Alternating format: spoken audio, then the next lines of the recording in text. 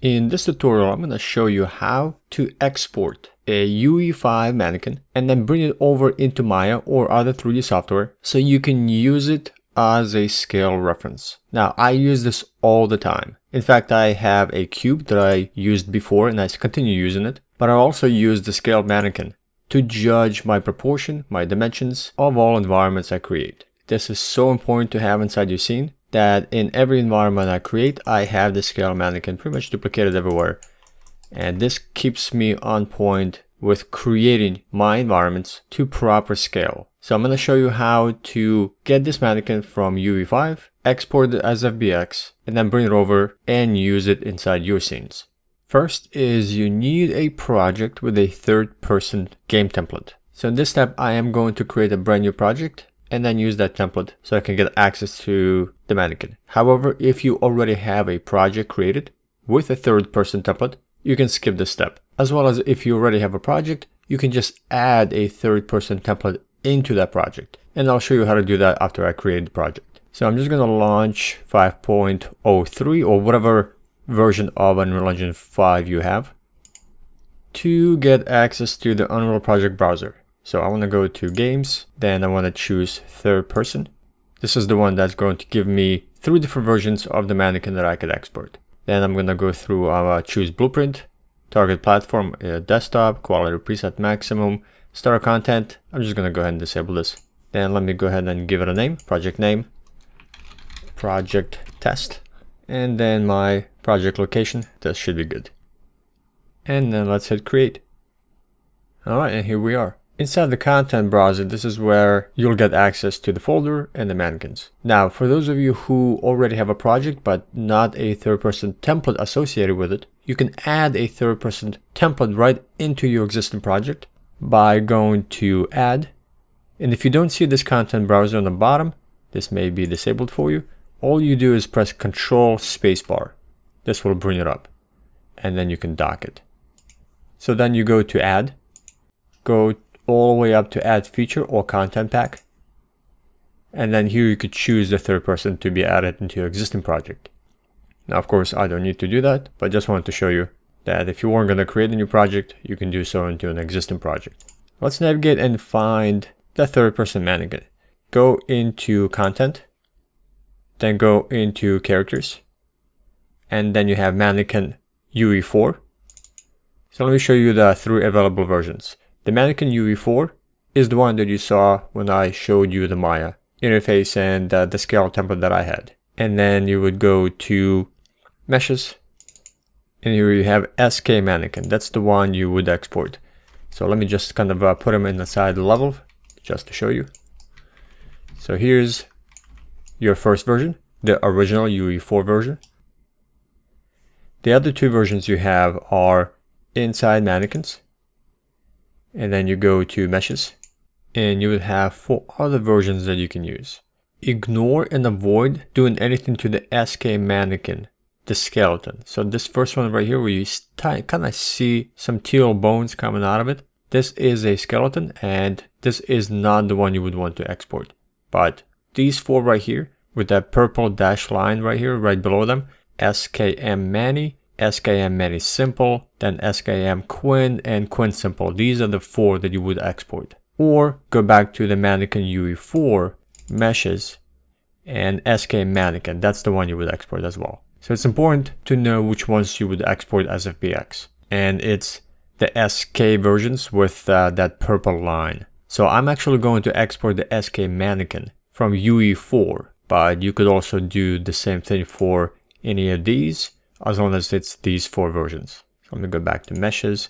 So what you would do is you right click on the mesh, then you go to asset actions, and then you go to export. Find the directory somewhere on your computer where you want to export this into. Doesn't matter where it is. So I'm gonna go to, I've already navigated to downloads and temporary folder.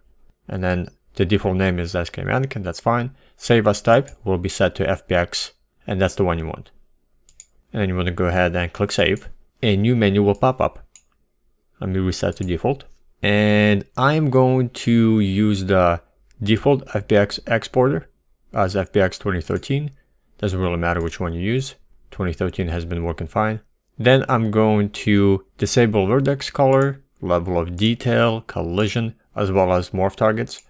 I am only concerned with having the mesh itself. I don't need extra information with it. Again, I'm using this as a scale reference and nothing else. So I went ahead and disabled everything. And here are my settings so far. And then click export.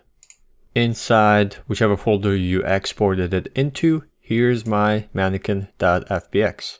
And this is the file that you would import into your 3D modeling package. And of course, like I said again, if you wanted a different version just for visual and not the UE4 version, again, go back to meshes for under mannequin and just export asset actions and export SFBX for any of these. And you just get a different representation of the mannequin, but it will be the same scale, same height. Next, we need to take this FBX and import it into a 3D modeling package. And in my case, it'll be Maya. So I'm going to open up Maya and let me start a new scene so I know it's new and fresh. Then I'm going to go to File, Import, and navigate into your directory where you exported the FBX into. So here it is. I'm to select it and import. I'm going to go ahead and select the mesh and just frame it. And the first thing I need to do is I need to delete the bones that come with it. So I'm going to select this middle root bone. So everything is selected, all the bones. You can see that I have root selected here on the upper right hand side. And I'm just going to delete them. Then I'm going to select the mesh. And right now, if you hit W or rotate or anything, you, you won't be able to move it.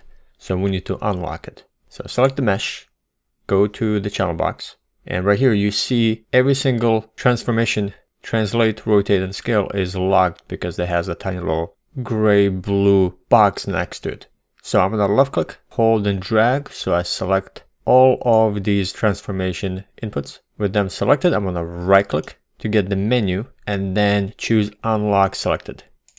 And now you can see that the tiny little box is gone. And now I will be able to move this, rotate and scale whatever I need to do with it. Now, of course, you don't want to scale it because it is already to proper scale. But if you ever need to move it, that's how you unlock. You need to unlock it first. Then I'm going to go to the outliner. And at the moment it is grouped. And you can see that I have US mannequin shape and it's grouped inside another group and inside another group. You can go ahead and leave this. This should be good as is. You don't really need to take this out, out of the group. But if you wanted to, you can just middle mouse click and drag and just drop it outside until you get the SK mannequin grouped within another group. So that's how it should look. So, and let me go ahead and delete this one. So that right now this is an empty group.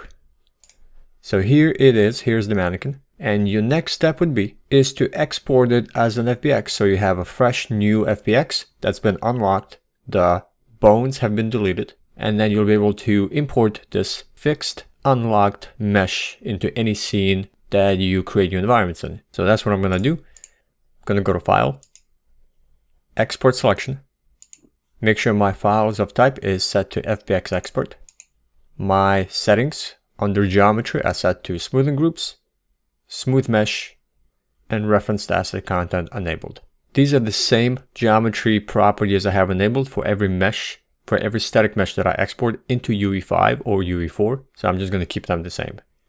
So I'm just going to give it a name and export it into a specific folder. So let me go ahead and uh, this scenes folder should be fine. Doesn't really matter where you export it to as long as you can back it up. So that way you always have this mesh to use in the future. So let's do UE5 scale mannequin and export selection. So now I'm gonna go ahead and do a new scene. I don't need to save this. Let me go ahead and close this. So let's say now I can go ahead create my environment. And then I need a scale reference so I can judge how big this cube would be based on the actual human reference scale that we brought over. So now you just import the new SK mannequin UE5 mannequin that we exported. Go to file, you would go to import. No longer we no longer need this one because we updated ours.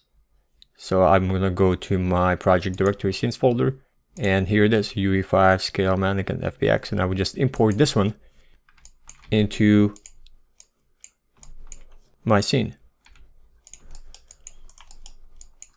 And then now I can create my environment and I know how big everything it has to be in order to match my scale reference. So I can judge proportion and scale of my environments. Now what I like to do is I actually create a template Maya scene that I can open that up and then save as a new version so I don't have to import this into my scenes every time.